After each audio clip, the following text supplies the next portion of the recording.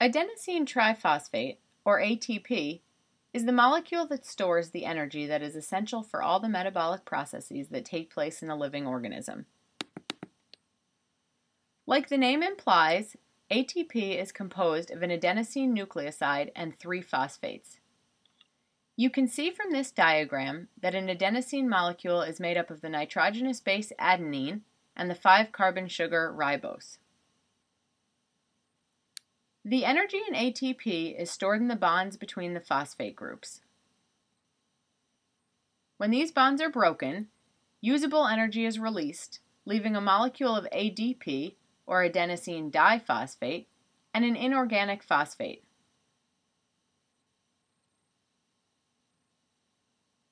Because of its energy storage capacity, ATP is a molecule that is essential to life. Remember that energy is produced when ATP is broken down into ADP and inorganic phosphate.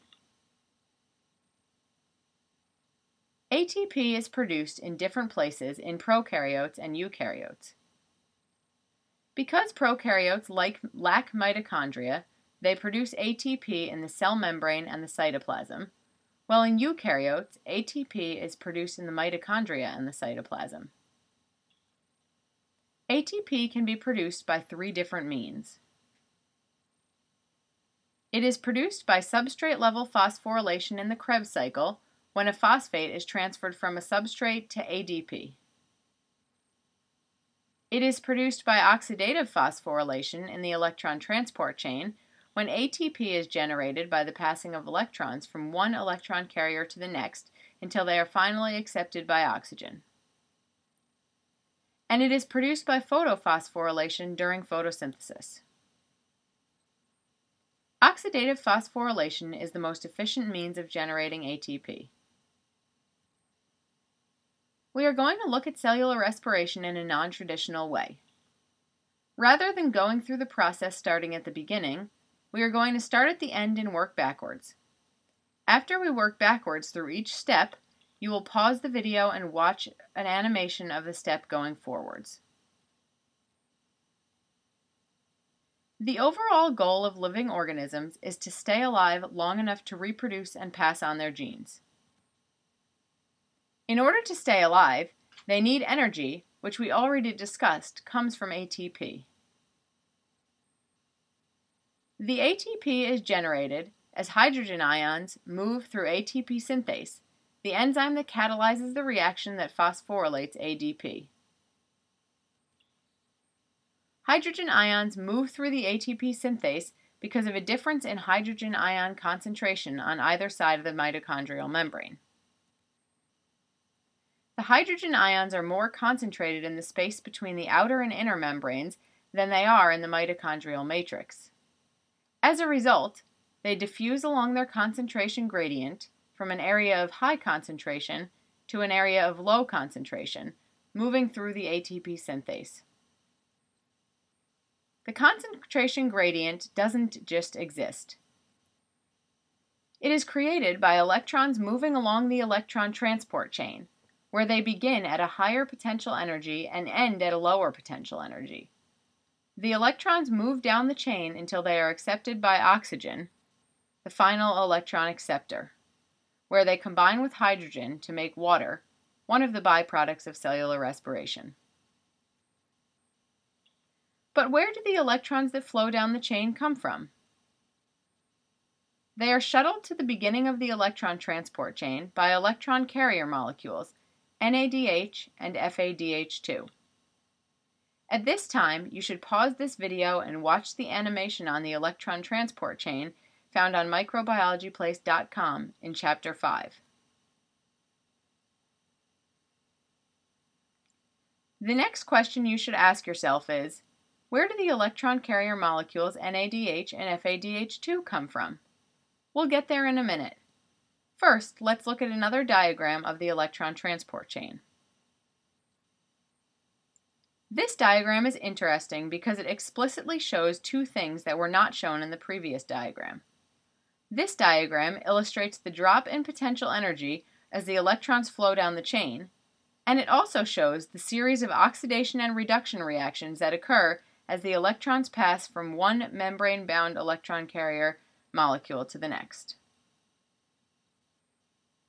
Notice that when the electron carriers dump off their electrons at the start of the chain, these are oxidation reactions because the molecules are losing hydrogens and electrons. As a refresher, what is needed to begin the electron transport chain?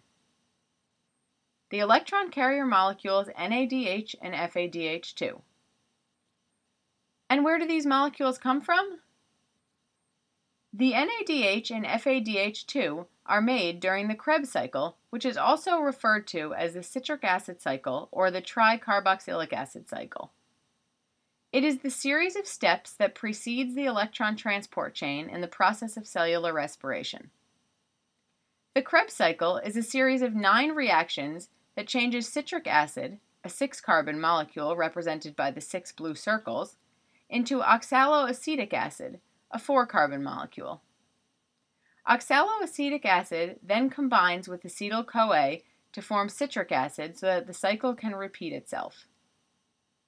You will notice that there is one reaction that occurs to produce the acetyl CoA that combines with the oxaloacetic acid. For simplicity, we will refer to this as being a part of the Krebs cycle, although some resources may label it as a separate preparatory step. The arrows indicate the five places in the cycle that produce NADH or FADH2. Similarly to the electron transport chain, the Krebs cycle contains many redox reactions. Each time a molecule of NAD plus becomes NADH or FAD becomes FADH2, a reduction has occurred because hydrogen has been gained. Coupled with each reduction is an oxidation in which the carbon compound loses hydrogen. You can also see that carbon dioxide, another byproduct of cellular respiration, is produced at three different places in the cycle. The Krebs cycle also produces a small amount of ATP by substrate level phosphorylation when ADP accepts a phosphate group transferred from a substrate in order to become ATP. But in order to start the Krebs cycle, which generates the high energy electron carrier molecules for the electron transport chain, in addition to a small amount of ATP, what do we need? Looking at the top of the diagram, you can see that the cycle starts with pyruvic acid, or pyruvate. Before we move on, pause this video and watch the animation of the Krebs cycle on microbiologyplace.org in Chapter 5.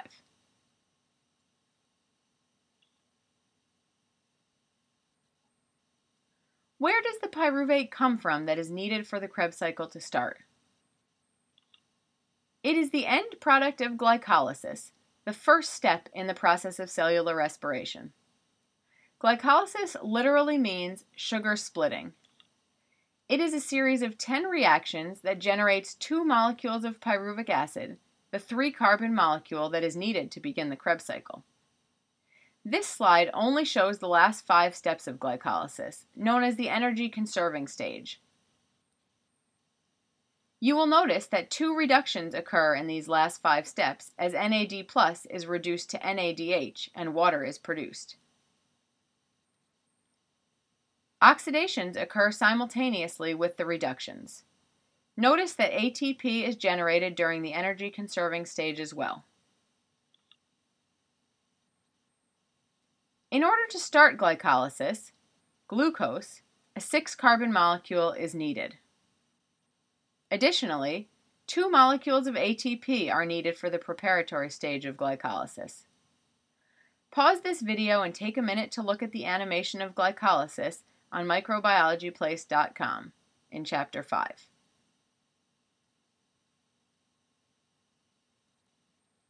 Let's look at the reactants and products for each stage of cellular respiration. It may be helpful to refer back to the diagram of each stage as you hear the next part of this presentation. Glycolysis starts with glucose.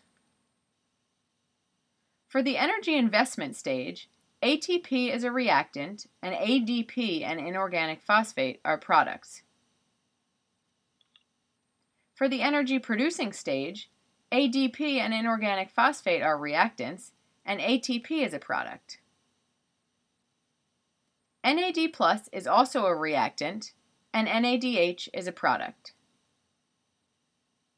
Glycolysis ends with the production of pyruvic acid. The Krebs cycle is the next stage in cellular respiration. It begins with pyruvic acid. NAD plus gets reduced in the Krebs cycle to NADH. FADH also gets reduced to FADH2. CO2 is released in the Krebs cycle as well. The electron transport chain is the third stage in cellular respiration. The electron transport chain begins with the oxidation of NADH into NAD+, and FADH2 into FADH. Oxygen serves as the final electron acceptor in the electron transport chain, producing water. Finally, ADP and inorganic phosphate produce ATP. By canceling all the compounds that appear as reactants and products, we are left with the net reaction for cellular respiration. Glucose plus oxygen yields carbon dioxide plus water. Let's look at the big picture of cellular respiration and total up the ATP generated during the three stages.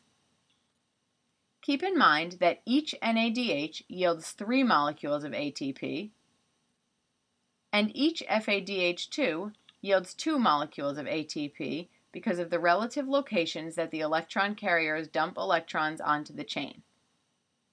Glycolysis requires 2 ATP to start, but it produces 4 ATP, so it has a net of 2 ATP. Two molecules of NADH are produced during glycolysis as well. The Krebs cycle generates two molecules of ATP directly and many more indirectly.